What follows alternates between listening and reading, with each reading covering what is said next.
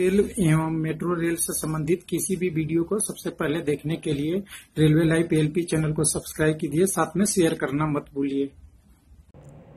Hello दोस्त, railway LP psycho परीक्षा का वीडियो नंबर 12 है और यहाँ बात करेंगे एप्टीट्यूड टेस्ट यानी अभिरुचि परीक्षा का। तो कुछ लोगों का सवाल आएगा कि ये तो हमारा सिलेबस में नहीं है एलपी का जो आर डी एस ओ का वेबसाइट है उस पर ये नहीं दिखा रहा है एलपी के लिए। तो दोस्त, ये एस के लिए होता है डी एम आर सी का होता है एल एम आर सी का होता है और जितने भी एन एम आर सी यानी जितने भी मेट्रो है, सारे में ये टेस्ट होता है।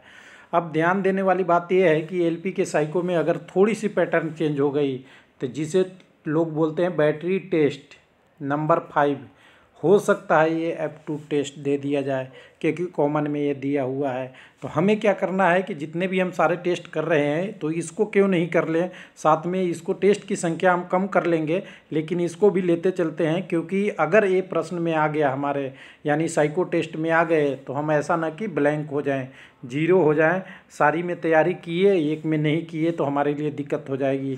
तो इसलिए हम ये भी इसको साथ साथ लेके चलते हैं एप टू टेस्ट का मेरा यही व्यू है। अगर आपको लगता है कि ये ज़्यादा नहीं बरकरार रखना है तो कमेंट बॉक्स में ज़रूर लिख दीजिएगा कि इसको हम छोड़ देंगे। लेकिन मेरा पर्पस यही है कि सारे टेस्ट से हम अवेयरनेस हो जाएँ, कि हमें पता हो जाए कि ये टेस्ट अभी दिया हुआ है, जिसमें से हमारे लिए आ सकता है। और बाकी अगर अब आप कभी एस एम की तैयारी करेंगे डी एम आर सी और कितनी भी मेट्रो की, उसमें आपका ये एप टू टेस्ट एक नेसेसरी टेस्ट होता है। तो चलिए इसमें हम टेस्ट की बात करेंगे। तो यहाँ पे आपको प्रश्न की संख्या दिया हुआ रहेगा। क्वेश्चन थर्टी सिक्स ऐसा रेंज होता है और इसमें टाइम दिया जाता है टेन मिनट मतलब रेशियो ये है थर्टी सिक्स क्वेश्चन है तो टेन मिनट मिलेगा।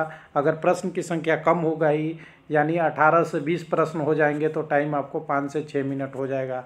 तो इस रेशियो में आपको टाइम भी डिवाइड हो जाएगा, लेकिन स्टैंडर्ड इसका टाइम है दस मिनट छत्तीस क्वेश्चन छत्तीस प्रश्न। तो चलिए इसको शुरू करते हैं। तो इसमें आप लोगों को मैं सबसे पहले बता देता हूँ, इस टाइप के प्रश्न में कोई आंसर गलत नहीं, कोई सही नहीं। लेकिन आपकी सोच, यानी एप्टीट्यूड का कहने का मतलब है आपकी अभिरुचि, आपकी इंटरेस्ट किसमें है, उसी के आधार से एक आंसर सेट रहता है और वो सबसे बेस्ट आंसर को एक आंसर बना लिया जाता है। उसमें आपको परखा जाता है कि आप स्टैंडर्ड फॉर्मेट के आसपास कितने हैं। समझ सकते हैं इस बात को, क्योंकि ये इसका प्रश्न का कोई भी ऑप्शन वन, टू, थ्री में से कोई भी गलत नहीं होता। सारे लगभग लगभग सही होता है, लेकिन सबसे अच्छा है उसको जवाब देना है। समझ चुके होंगे आप? तो चलिए शुरू करते हैं। पहला प्रश्न यहाँ पे है, मैं पिताजी के कहने पे अधिक पढ़ाई करने लगता हूँ। तो एक रिलेटिव बात है कि घर में आप रहते हैं तो आपको कोई कहता है तो पढ़ाई शुरू कर देंगे। तो लोग कहेगा कि हाँ तो ध्यान दीजिएगा, ये बच्चों का काम है और आप हो चुके हैं बड़ो। यानी आपकी एज 18 साल से ऊपर हो चुकी है। कहने का मतलब कि आपको सेल्फ होना चाहिए। इस एटीट्यूड का या एप्टीट्यूड टेस्ट का यही मकसद है कि आपकी ज्ञान लेना। तो ध्यान दीजिएगा, कहने पे इसका मतलब ही है कि आप अपने आप नहीं पढ़ते हैं। समझ सकते हैं, यही एप्टीट्यूड टेस्ट की खासियत है। तो ध्यान दीजिएगा, इसका राइट आंसर होगा नहीं। अगर कोई कहता है तो नहीं, मैं खुद अपने आप पढ़ाई करता हूँ। तो समझ चुके होंगे, इस पूरे प्रश्न का यही कंसेप्ट होता है कि आपको एक स्टैंडर्ड से प्रश्न पूछा जाएगा। तो यहाँ ध्यान दीजिएगा, इसका राइट आंसर नहीं है। मैं पिताजी के कहने पे अधिक पढ़ाई नहीं, अपने आप अधिक पढ़ाई करता हूँ। सही? उसके बाद मैं पसंद करता हूँ। तो कुछ लोग कहते हैं यूट्यूब कोई कहते हैं, अच्छी फ़िल्में, कोई कहता है, अच्छी किताबें पढ़ना। और इसमें से कोई भी गलत नहीं है। कोई भी नहीं कह सकता कि तीनों चीज़ कोई काम गलत है। लेकिन आप क्या करने गए हैं? साइको देने। और साइको में किसकी पढ़ाई होती है? आपकी एजुकेशन की बात होती है। फ़िल्म और यूट्यूब एजुकेशन से डायरेक्ट बिलोंग नहीं करता एज ए स्टैंडर्ड तो अच्छी किताबें पढ़ना आपका राइट आंसर होना चाहिए। तो हो सकता है ये समझ रहे होंगे बातें को, जो समझ गए वो पॉजिटिव थिंकिंग नहीं समझे तो अभी थोड़े और वीडियो का इंतज़ार करिए और अपनी नेगेटिविटी हटाने की कोशिश कीजिए। उसके बाद आगे चलते हैं। प्रश्न संख्या थ्री है, जिसमें कह रहा है, मैं हमेशा अच्छा चाहता हूँ सबसे पहले। तो यहाँ देश का है, संबंधी का और खुद का। तो खुद का तो कोई कहेगा नहीं, संबंधी या देश का कहेगा राइट आंसर यहाँ पे आपका है, देश का मैं सबसे पहले। देश की भलाई चाहता हूँ। उसके बाद चार नंबर प्रश्न, जब भी कोई मुझसे झूठी जानकारी देता है तो क्या होते हैं जी? मैं बहुत गुस्सा हो जाता हूँ, मैं परेशान हो जाता हूँ, मैं भी झूठ बोल देता हूँ। आप बताएँ, कौन से करते हैं आप? हमें लगता है सब लोग ये सब करते हैं, लेकिन कोई ऑप्शन में तो बताएँ कि मैं क्या करता हूँ। तो ध्यान दीजिएगा, यहाँ तीनों प्रश्न का कोई गलत आंसर नहीं है, सारा आंसर सही है। लेकिन सही देना है, यहाँ देखिए, बात को समझिए, कोई मुझसे झूठी जानकारी देता है। मतलब आप समझ सकते हैं कि वो झूठ बोल रहा है, क्लियर है। कोई डाउट नहीं है कि वो झूठ बोल रहा है तो मैं भी उससे गुस्सा हो जाता हूँ, उसका राइट आंसर है। अगर इसमें कुछ छुपा हुआ रहता, झूठ देने की कोशिश करता है, तब आप ध्यान दीजिएगा, बदल जाएगा सेंटेंस तो यहाँ बोला है कि झूठी जानकारी देता है कन्फर्म है तो मैं भी उस पर गुस्सा हो जाता हूँ, हमारा राइट आंसर उसके बाद अगले में हम चलेंगे, पाँच नंबर प्रश्न है, जिसमें बोला, मैं दूसरे की भावनाओं का सम्मान करता हूँ। तो मैं दूसरे की भावनाओं को सम्मान करता हूँ मतलब इज़्ज़त करता हूँ, हमेशा कभी कभी कभी नहीं। तो ये सब लोग जानते हैं, हमेशा ही कहेंगे आप भी तो राइट आंसर फाइव का ये है, दूसरे की भावनाओं का हमेशा सम्मान करता हूँ। तो प्रश्न संख्या सिक्स है। मैं किसी परीक्षा से पहले आंसर की ढूंढता हूँ कट ऑफ़ जानता हूँ, अच्छी से तैयारी करता हूँ। तो हमें लगता है सबसे पहले लोग कट ऑफ़ ढूंढते हैं, तैयारी बाद में करते हैं, फिर आंसर की ढूंढ लेते हैं कि आंसर की मिल जाए और नहीं तो पीडीएफ मिल जाए। पीडीएफ बहुत लोग ढूंढते हैं। तो यहाँ और तीसरी है, अच्छी से तैयारी करता हूँ। तो देखिए, सबसे पहला प्रोसेस होता है, अच्छी से तैयारी करता हूँ, उसके बाद कटअप आपकी तैयारी से बनती है और आंसर की आपके जो एग्ज़ाम में परफॉर्म किए हैं, उसका होता है। तो यहाँ देख सकते हैं, मैं किसी भी परीक्षा से पहले अच्छी तरह से तैयारी करता हूँ राइट आंसर है। उसके बाद सात नंबर प्रश्न है, मैं किसी भी स्थान पे कार्य करने से पहले, कोई भी स्थान पे, यानी कहीं भी कार्य करने से पहले क्या करते हैं? अच्छी से तरह से सोचता हूँ दूसरों की मदद लेता हूँ, घबरा जाता हूँ। तो ध्यान दीजिएगा, कोई भी काम शुरू करने से पहले क्या होता है? अच्छी तरह से सोचना, ये अच्छा व्यक्ति और अच्छे वर्कर, अच्छे इंजीनियर की काम है तो अच्छी तरह से सोचता हूँ ये काम कैसा है। तो राइट आंसर आपका पहला हो जाएगा।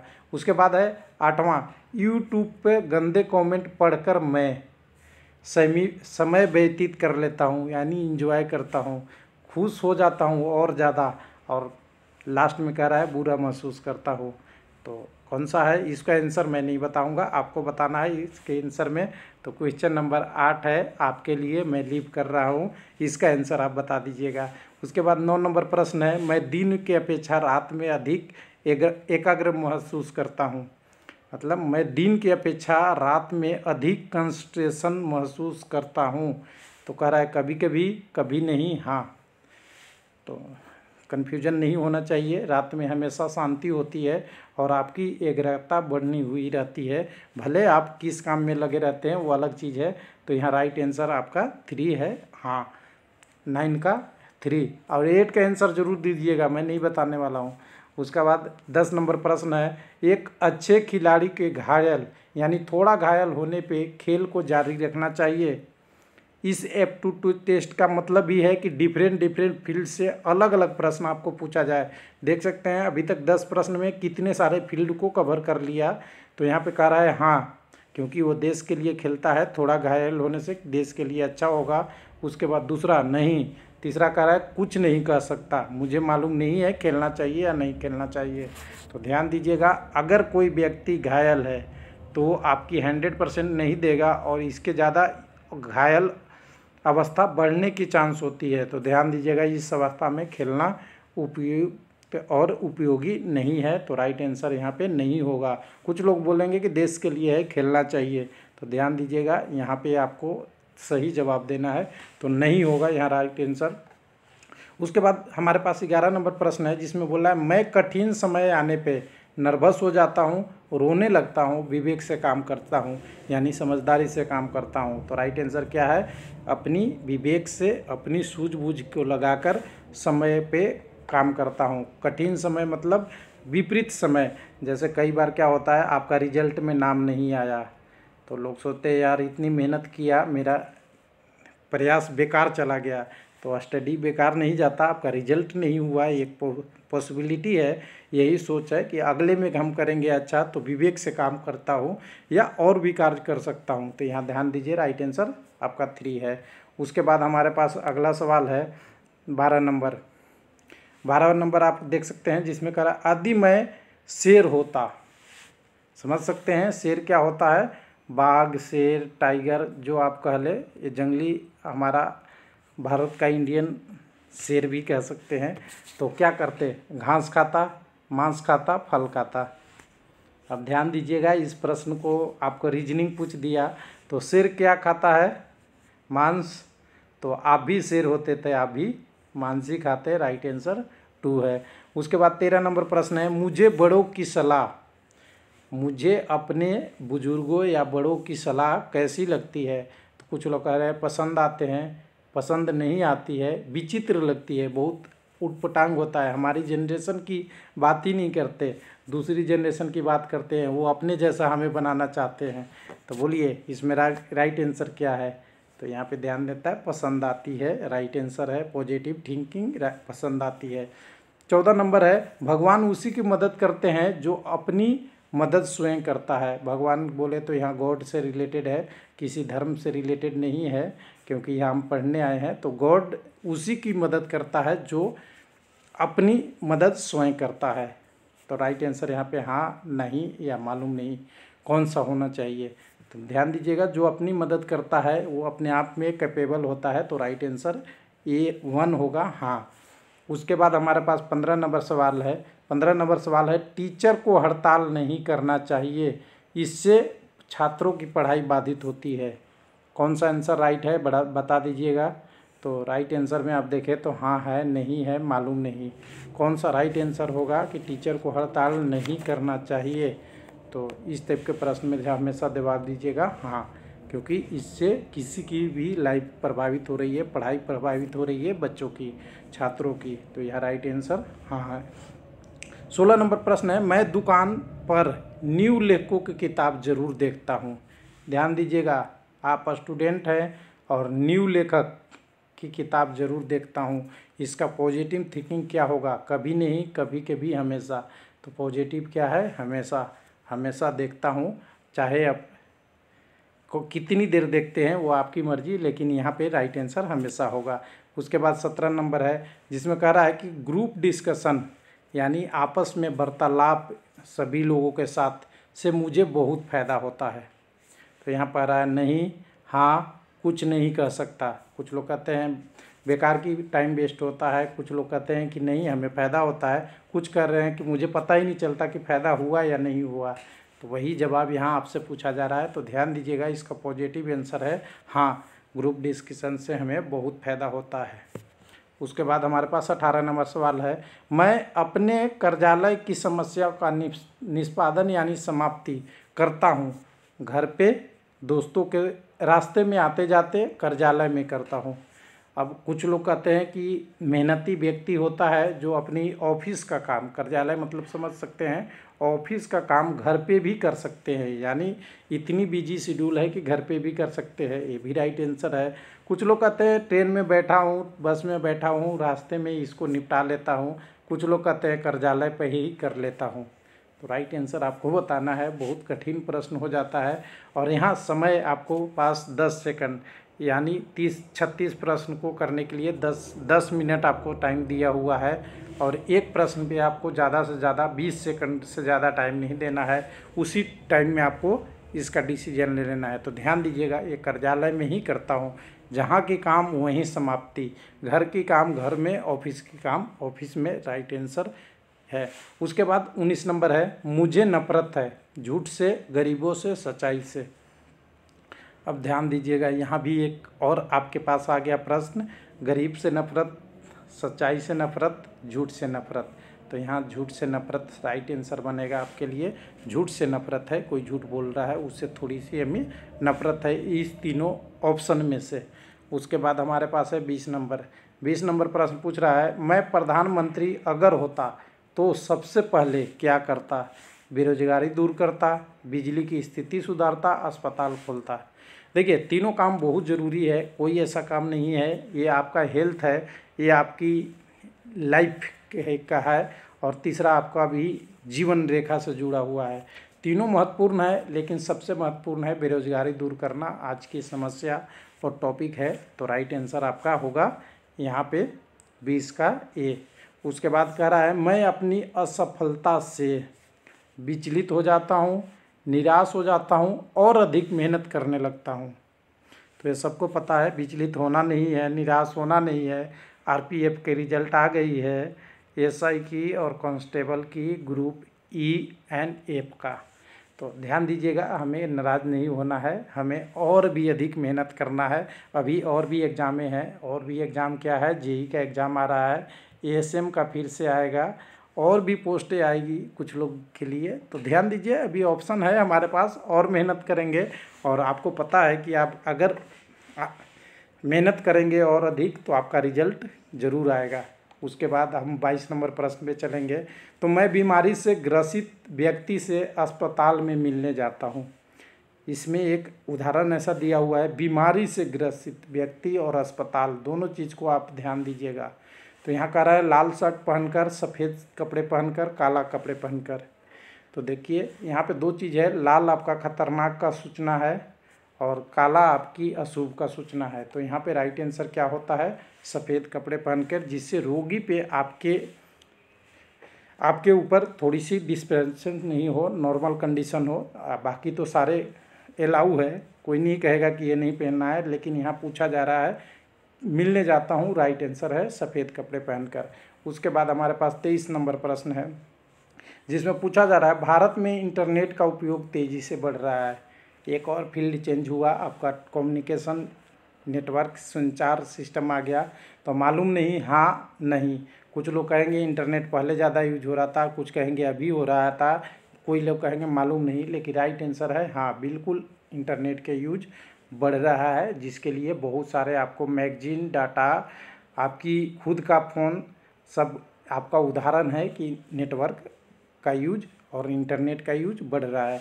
उसके बाद है, चौबीस नंबर, सफलता के लिए मेहनत ज़रूरी है। कह रहा है हाँ नहीं कभी कभी तो ये सिंपल से सवाल है, सफलता बिना मेहनत के नहीं मिल सकती तो राइट आंसर हाँ है। पच्चीस नंबर एक प्रश्न है, गीता लंबा है मोहन से और छोटी है गणेश से। तो सबसे छोटा कौन सा है? ये बताना है। ये भी एफ़ टू टेस्ट में होता है। तो गीता से लंबा कौन सा है? गीता लंबा है मोहन से, लेकिन गणेश से छोटा है। तो गणेश सबसे बड़ा है तो मोहन सबसे छोटा है। राइट आंसर टू उसके बाद हमारे पास और बच गए कितने प्रश्न? जो बच गए उसको ले लेते हैं यहाँ पे। तो इस प्रश्न का आंसर हम छब्बीस से जो ढूंढ रहे हैं। तो छब्बीस नंबर प्रश्न कर रहा है, मैं पसंद करता हूँ। घर का खाना, होटल का खाना, खुद का हाथ का बनाया हुआ खाना। तो ये सभी के लिए उपयोगी लगता है। सब लोग कहेंगे हमारे तरीके से ही है। हमें सब जगह की अच्छा लगता है। घर का खाना सेहत के लिए अच्छा है, होटल का खाना टेस्ट के लिए अच्छा है और अपने हाथ का बनाया हुआ खाना दोनों के लिए अच्छा है। अब किसकी सवाल बताए तो ध्यान दीजिएगा। घर अपने हाथ से भी बनाएँगे तो घर पे ही बनाएँगे। तो राइट आंसर है घर का खाना। ऑप्शन ए तो राइट आंसर हमारे पास वन हो गया।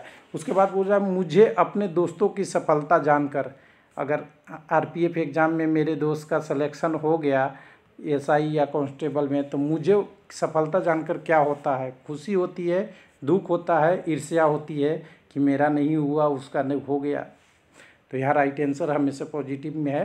खुशी होती है क्योंकि सेलेक्टेड कैंडिडेट ऑलवेज इज़ मेहनत मेहनत के करके वो सेलेक्ट हुआ है तो हमारे लिए भी अच्छा है और हमें भी, हमारा दोस्त होने के नाते हमें खुशी हो रहा है। उसके बाद अट्ठाईस नंबर प्रश्न है, मैं सड़क के बाई तरफ़ चलता या चलती हूँ? तो ये रूल है और रूल को फॉलो करना हमेशा पॉजिटिव ही होना चाहिए तो हमेशा चलता हूँ। बाकी की बात ही नहीं करेंगे क्योंकि ये तो रूल है। उसके बाद तीस नंबर प्रश्न है सरल के विलोम का विलोम क्या है? सरल का उल्टा और उल, उसका उल्टा क्या है? तो सरल का उल्टा कठिन कठिन का उल्टा आसान। राइट आंसर थ्री है। तो समझ सकते हैं इस टाइप के प्रश्न को। तो तीस का आंसर आपको मिल गया आसान। उसके बाद कृषि में वैज्ञानिक पद्धति करने से क्या होता है? खर्च अधिक होता है पैदावार कम होता है खर्च कम और पैदावार ज़्यादा होता है यानी उत्पादन ज़्यादा होता है। तो कह सकते हैं। राइट आंसर थ्री है, क्योंकि वैज्ञानिक पद्धति आपको अच्छे तरीके से कम खर्च में अधिक उत्पादन के लिए जाना जाता है। राइट आंसर थ्री है। बत्तीस नंबर प्रश्न आपके पास है, मैं कानून का विरोध करता हूँ। ये भी रूल है। तो रूल को आप कैसे फॉलो करेंगे? तो पहले में हमने बोल दिया था कि हमेशा सड़क के बाएँ तरफ़ चलता हूँ, लेकिन वो पॉजिटिव था, ये नेगेटिव है। मैं कानून का विरोध करता हूँ, कभी नहीं। ध्यान दीजिएगा। इस टाइप के आपको एटीट्यूड को सिंपल से समझ जाना है। विरोध नहीं करता हूँ निगेटिव है तो रूल का निगेटिव राइट आंसर नहीं करता हूँ। कह रहा है, रुपया भारत से संबंधित है तो डॉलर किससे संबंध होगा? वो बताना है। पाकिस्तान, श्रीलंका और अमेरिका है। तो ध्यान दीजिएगा, रुपया भारत की करेंसी है तो डॉलर अमेरिका की करेंसी है राइट आंसर सी है। इसी तरह से। उसके बाद हमारे पास सवाल नंबर चौंतीस, पैंतीस, छत्तीस। तो चौंतीस नंबर सवाल है, एक दोस्त ने मुझे धोखा दिया, अब मैं भी उससे धोखा दूँगा, नाता तोड़ लूँगा, गलती का एहसास करवाऊँगा। बोलता है, मैं भी उसको ऐसा ही धोखा दूँगा जैसा हमें दिया है, लेकिन दूसरा कह रहा है कि वो हम हम, उससे हम अब बात ही नहीं करेंगे। लास्ट में कह रहा है कि गलती का एहसास कराऊँगा कि तूने गलती किया है। तो लास्ट आंसर आपके लिए सबसे बेटर है, गलती का एहसास करवाना ही, उसकी मेन समस्या का समाधान है इन तीनों में से। इसके अलावा भी आपके पास हो सकता है, लेकिन यहाँ पे तीन ऑप्शन है, उसमें से सही राइट आंसर गलती का एहसास कराना। उसके बाद पैंतीस नंबर सवाल है, लोकतंत्र में सभी को वोट महत्वपूर्ण है। कुछ लोग कहेंगे, मालूम नहीं है समय समय पर हमेशा। तो यहाँ पे देखिए समय समय पे कौन कहेंगे, अगर दस वोट से कोई हार गया, पाँच, दस वोट से कोई जीत गया तो बोलता दस वोट हम देते तो कंडीशन बदल जाता। तो ये एक थोड़ी सी पॉजिटिव से नेगेटिव थिंकिंग है। पूरी तरह से पॉजिटिव यही है हमेशा, क्योंकि वोट देना सबकी ज़रूरी और महत्वपूर्ण भी है और ज़रूरी भी है। तो राइट आंसर आपके थ्री हो गया। उसके बाद छत्तीस नंबर प्रश्न है सूर्य की परिक्रमा पृथ्वी करती है। तो ये यूनिवर्सल ट्रस्ट बोलते हैं। इस टाइप के प्रश्न में आपको ज़्यादा दिमाग नहीं लगाना है। बस जानना है कि पृथ्वी सूर्य को घूमती है तो सही आंसर है। राइट आंसर वन है। तो देख सकते हैं, हमने इस टाइप के प्रयास किए हैं। बस पॉजिटिव सोचना है, आपका आंसर आराम से हो जाएगा। बहुत कठिन प्रश्न नहीं होते, लेकिन सबसे ज़्यादा कैंडिडेट इसी में फेल होते हैं। ये भी आप ध्यान दीजिएगा, क्योंकि आज के डेट में सोच और विचार, हम स्टैंडर्ड से कितना डिविएशन करते हैं, वो मायने रखता है। जितना आप डिविएस करिएगा, उतना आपसे यहाँ गलतियाँ होगी। और प्रश्न बहुत है, सारे सही हैं सारे सारे ऑप्शन सही है, कोई ऑप्शन गलत नहीं है तो इसको आपको ध्यान में रखना होता है इस टाइप के आपको कंसेप्ट में। तो चलिए, एक प्रश्न आठ नंबर रह गया था, लोग, दोस्त, भाई लोग कहेंगे कि आपने बताया नहीं तो आपने आंसर दे दिया होगा। तो यूट्यूब पे गंदे कमेंट पढ़कर मैं बुरा महसूस करता हूँ। राइट आंसर है, लेकिन कुछ लोग कहेंगे, समय समय व्यतीत कर लेता हूँ। तो राइट आंसर यहाँ पे मेरा है। थ्री है, अगर कुछ और होगा तो ज़रूर बताइएगा। तो इस वीडियो में हमने अभी बात किया छत्तीस प्रश्न का, जो एप्टीट्यूड यानी अभिरुचि परीक्षा से आता है। S M D M R C L M R C N M R C और एल पी साइको में प्रोबेबल पूरी तरह से सिलेबस में नहीं दिया हुआ है आर डी एस ओ का। हो सकता है कि जब कॉम्बाइंड दिया हुआ है, वहाँ पे ये दिया हुआ है और पिछली बार का जो रिज़ल्ट आया था हैदराबाद का, हमने सिकंदराबाद का देखा था। सिकंदराबाद में जो सबसे ज़्यादा लोग टेस्ट में फेल हुए थे, टेस्ट नंबर फाइव था। और टेस्ट नंबर फाइव शायद एप्टीट्यूड टेस्ट का ही पिछली बार था, इसलिए मैंने इस वीडियो को लेके आया हूँ। अगर आप चाहते हैं कि इस इस एप्टीट्यूड टेस्ट को ख़त्म करें तो हम इस वीडियो में सम्मिलित नहीं करेंगे, जिसके लिए आपकी कमेंट देखेंगे कितने लोग क्या करते हैं। थैंक यू, धन्यवाद।